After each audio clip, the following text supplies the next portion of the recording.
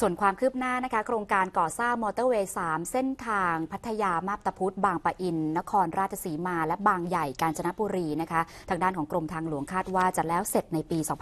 2562 ถึงปี 2563 ค่ะนายธานินสมบูรณ์อธิบดีกรมทางหลวงเปิดเผยถึงความคืบหน้า โครงการก่อสร้างทางพิเศษระหว่างเมืองหรือมอเตอร์เวย์ เส้นทางพัทยามาบตาพุธ ขณะนี้นะคะได้ผู้รับเหมาทั้ง 13 ช่วงแล้ว เส้นทางบางปะอินนครราชสีมา ได้ผู้รับเหมาแล้ว 25 ช่วง และอีก 15 ช่วงที่เหลือนะคะ จะได้ผู้รับเหมาทั้งหมด และเริ่มการก่อสร้างได้ในปีนี้ค่ะ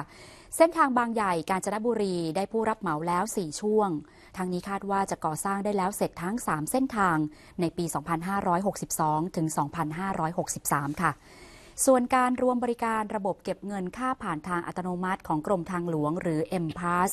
กับระบบเก็บค่าผ่านทางอัตโนมัติของการพิเศษแห่งประเทศไทย หรือ Easy Pass นั้นนะคะ จะสามารถใช้บริการร่วมกันได้ตั้งแต่วันที่ 1 กันยายนนี้ โดยประชาชนที่ติดตั้งเครื่องชำระค่าผ่านทางระบบใดระบบหนึ่งแล้ว จะสามารถใช้ชำระค่าผ่านทางได้ทันที ส่วนผู้ที่ติดตั้งทั้ง 2 ระบบ สามารถขอคืนเงินได้ค่ะที่ด่านเก็บเงินของกรมทางหลวง หรือการทางพิพิเศษแห่งประเทศไทยค่ะ